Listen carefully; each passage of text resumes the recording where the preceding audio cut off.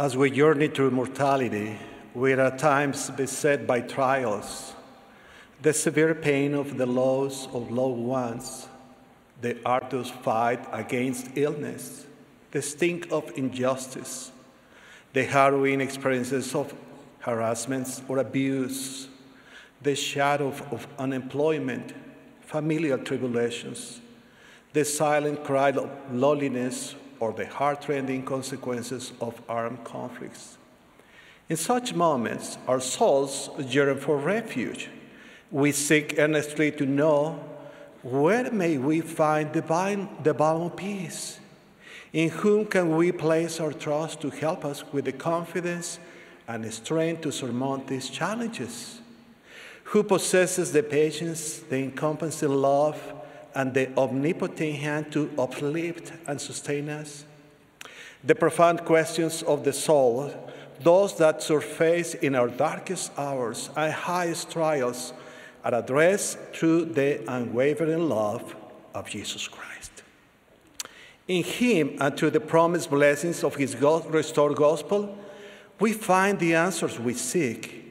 It is through His infinite atonement that we are offered a gift beyond measure one of hope, healing, and the assurance of His constant, enduring presence in our lives. This gift is available to all who reach out with faith, embracing the peace and redemption He so freely offers. The Lord extends His hand to each of us, a gesture that is the very essence of His divine love and kindness. His invitation to us transcends a simple call.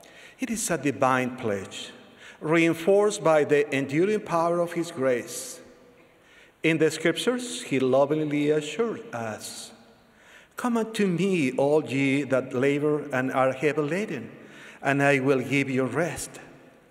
Take my yoke upon you and learn of me, for I am meek and lowly in heart, and ye shall find rest unto your souls. For my yoke is easy and my burden is light. The clarity of his invitation, come unto me and take my yoke, affirms the profound nature of his promise. A promise so vast and complete that it embodied his love, offering us a solemn warranty ye shall find rest. As we diligently seek spiritual guidance, we embark on a deeply transformative odyssey that strengthens our testimony. Comprehending the vastness of our Heavenly Father's and Jesus Christ's perfect love, our hearts are filled with gratitude, humility, and a renewed desire to pursue the path of discipleship.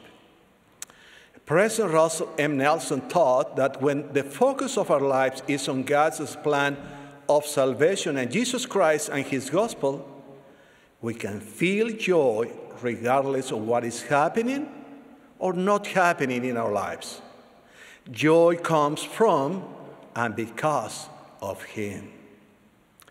Alma speaking to his son Helaman declare, And now, O my son Helaman, behold thou art in thy youth, and therefore I beseech of thee that thou wilt hear my words and learn of me.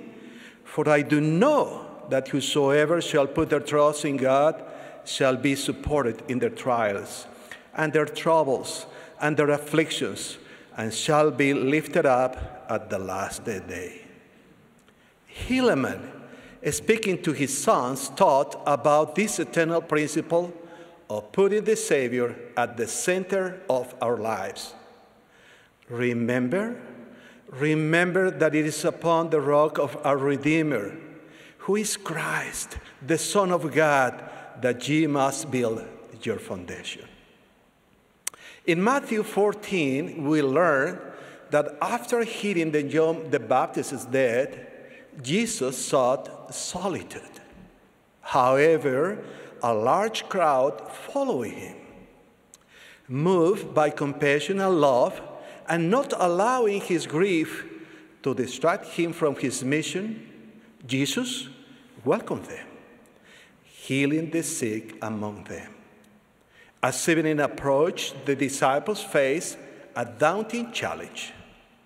A multitude of people with scant food available. They proposed that Jesus send the crowd away to procure food. But Jesus, with high love and high expectations, asked the disciples to feed them instead. While the disciples were preoccupied with the immediate challenge, Jesus demonstrated his trust and love for his Father, coupled with an unwavering love for the people. He directed the crowd to sit on the grass, and taking only five loaves and two fish, he chose to give thanks to his Father, acknowledging God's provision over his authority and power. After he gave thanks, Jesus broke the bread and the disciples distributed to the people. Miraculously, the food not only sufficed, but was abundant, with 12 baskets of leftovers. The group fed included 5,000 men, along with women and children. This miracle teaches a profound lesson. When confronted with challenges, it's easy to become engrossed in our difficulties. However, Jesus Christ exemplified the power of focusing on his Father, offering gratitude and acknowledging that solutions to our trials do not always lie with ourselves, but with God. When we encounter difficulties, we naturally tend to concentrate on the obstacles we face. Our challenges are tangible and command our attention. Yet, the principle of surmounting them is in our focus.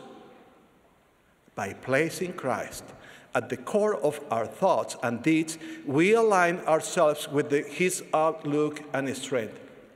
This adjustment does not discount our struggles. Instead, it helps us to navigate through them under divine guidance. As a result, we discover solutions and support that arise from a higher wisdom. Adopting this Christ centric perspective empowers us with the fortitude and insight to turn our trials into victories, reminding us that with the Savior, what seems like a major problem can become a pathway to greater spiritual progress. The story of Alma the Younger in the Book of Mormon presents a compelling narrative of redemption and the profound impact of centering one's life around Christ. At first, Alma stood as an opponent of the Lord's church, leading many astray from the path of righteousness. However, a divine intervention marked by an angelic visitation awakened him from his wrongdoings. In his darkest hour, tormented by guilt and desperate to find a way out of his spiritual anguish. Alma remembered his father's teachings about Jesus Christ and the power of his atonement. With a heart yearning for redemption, he earnestly repented and pleaded fervently for the Lord's mercy. This crucial moment of complete surrender, bringing Christ to the forefront of his thoughts and earnestly seeking his mercy triggered a remarkable transformation. The heavy chains of guilt and despair vanished and were replaced by an overwhelming sense of joy and peace. Jesus Christ is our hope and the answer to life's greatest pains. Through his sacrifice, he paid for our sins and took upon himself all of our suffering, pain, injustice, sorrow, and fear. And He forgives and heals us when we trust in Him and seek to change our lives for the better. He is our healer, comforting and repairing our hearts through His love and power, just like He healed many during His time on earth.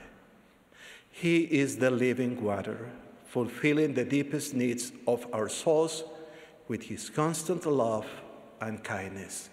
This is like the promise he made to the Samaritan woman at the well, offering a well of water springing up into everlasting life. I bear solemn witness that Jesus Christ lives, that he presides over this, his sacred church, the church of Jesus Christ of Latter day Saints. I testify that he is the Savior of the world, the Prince of Peace, the King of Kings, the Lord of Lords, the Redeemer of the world. I affirm with certainty that we are ever present in his mind and heart.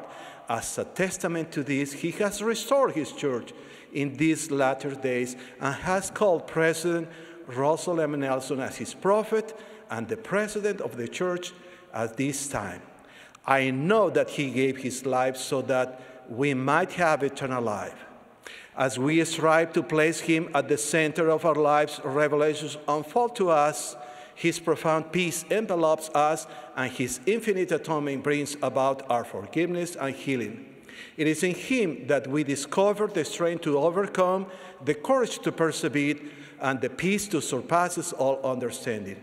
May we strive each day to draw nearer to Him, the source of all, all that is good, the beacon of hope in our journey back to the presence of our Heavenly Father. In the sacred name of Jesus Christ, amen.